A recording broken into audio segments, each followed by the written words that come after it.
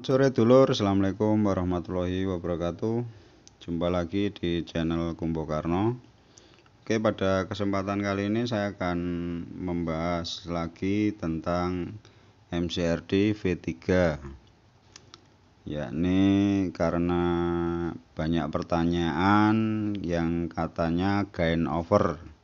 Jadi volume dibuka sedikit sudah eh, nendang-nendang ya. Jadi akan saya terangkan eh, yang harus diganti mana saja. Ya, pertanyaan yang sering saya lihat di kolom komentar tentang MCRD V3 seperti ini, Mas bagaimana cara menurunkan gain karena eh, volume jika dibuka sedikit sudah kenceng. Nah, seperti itu ya pertanyaannya. Jadi untuk kali ini akan saya jelaskan. Oke sebelumnya saya terangkan untuk PCB nah untuk PCB ini ya ini PCB yang sering saya gunakan ya. Ini PCB yang sering saya gunakan. Saya tidak promosi PCB ya saya karena saya tidak jual saya cuman perakit ya. Saya cuman merakit. Jadi saya biasa menggunakan eh, PCB ini untuk MCRD V3 untuk yang lain eh, mungkin PCB nya beda ya.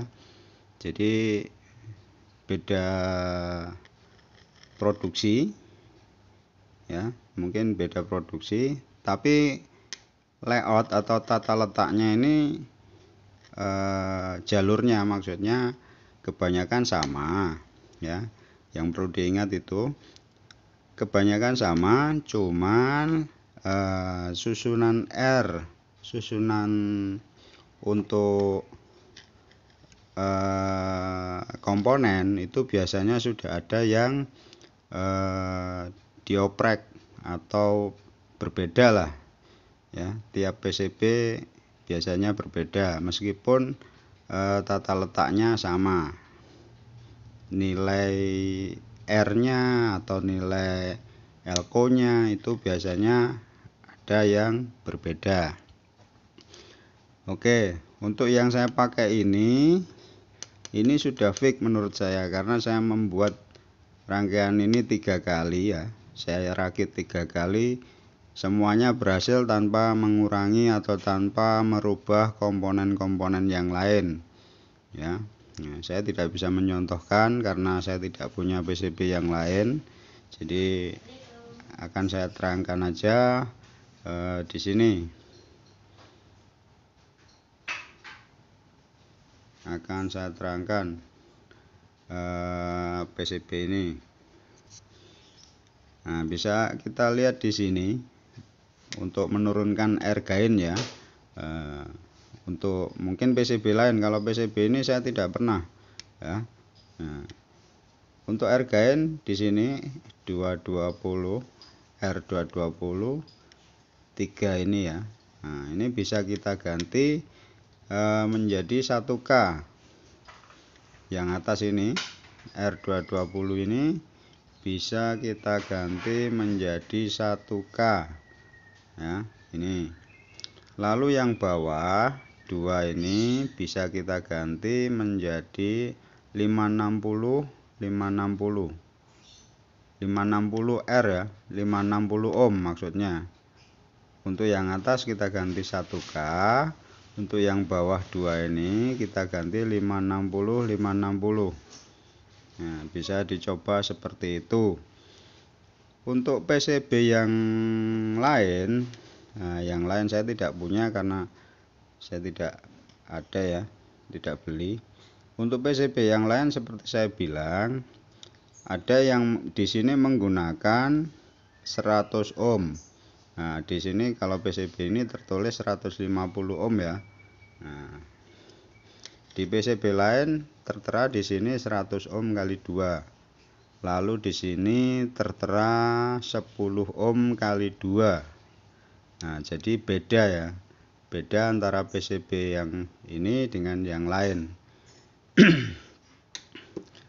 uh, jadi seperti itu yang perlu kita ganti atau kita coba uh, ganti hanya 3R ini untuk R gain MCRD V3 tapi saya eh, sarankan atau bisa dicoba ya bisa dicoba sebelum mengganti R gain ini ya sebelum mengganti R gain ini saya ulangi eh, bisa dicoba menggunakan VR untuk volume variabel uh, variabel resistor atau potensio untuk volume bisa dijajal atau dicoba menggunakan 10K atau 20K ya. Jadi eh, sebelum saya ulangi lagi sebelum merubah 3R ini tadi bisa dicoba untuk volume volume power ini bisa dicoba menggunakan 10 atau 20K nanti bisa dibandingkan eh, jika kita menggunakan 50 atau 100K ya. Bisa kita bandingkan bisa dicoba silahkan monggo. Ya. Jadi yang perlu diingat eh, tiap PCB itu beda beda nilai komponen biasanya. Untuk layoutnya kebanyakan sama cuman beda eh, komponen beda nilai komponen. Ya seperti itu. Jadi bisa dicoba seperti yang saya bilang tadi ya. R mana saja yang diganti.